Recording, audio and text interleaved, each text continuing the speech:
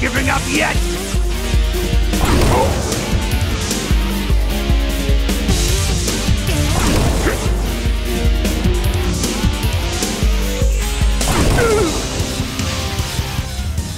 Why, you... you pay for this!